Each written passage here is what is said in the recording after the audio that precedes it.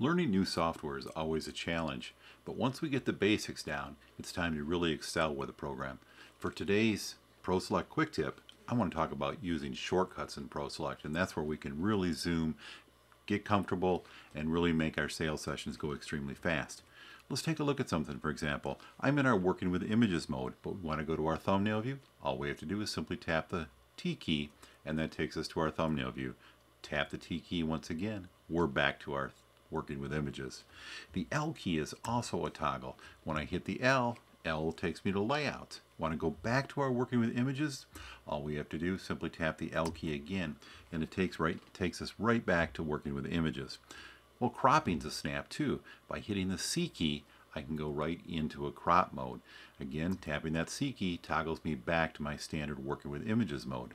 Let's go back to cropping by tapping the C, and all I have to do is use the up and down arrows, and I can now crop an image and it'll hold that format for me. I can also use the plus and minus keys, will do the exact same thing. Want to go back to working with images? Once again, all I have to do is tap the C key, and it takes me back to working with images. Now, don't worry about writing everything down as I'm talking because I know we're going really fast here. I'm going to show you how to be able to get all these shortcuts in just a couple moments. There's times when we want to go through and actually hide our display area and our tools. We can do that by simply touching the Tab key. I touch the Tab key again, and our tools and image list return. Well, sometimes we want to go through and we want to show multiple images on the screen.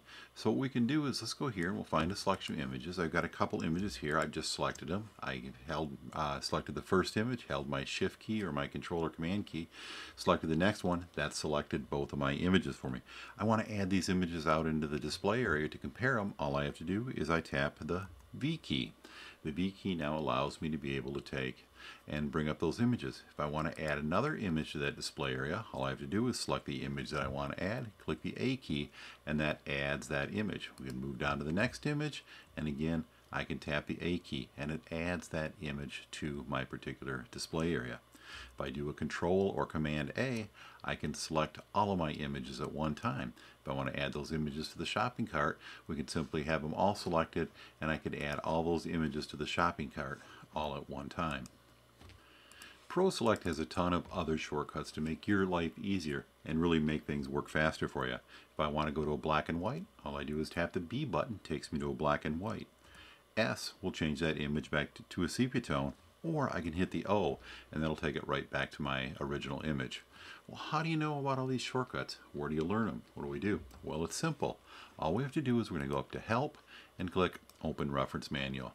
This is the best kept secret in ProSelect because user manual here is absolutely fantastic. Well, I happen to know that all my shortcuts are listed to the back, so I'm going to go to the Contents page 3, and if you look here it says Keyboard Shortcuts. All I need to do is simply just click on the page number, it, the PDF file, it takes me right to the page, and all I have to do is simply print out those pages. I've got two pages of shortcuts to be able to help me work faster and more efficiently in ProSelect. When I'm working efficiently, I'm concentrating on my clients. I don't have to think about it. I can work faster. I can sell more. For ProSelect Quick Tips, I'm Ron Nichols. Thanks for joining me today.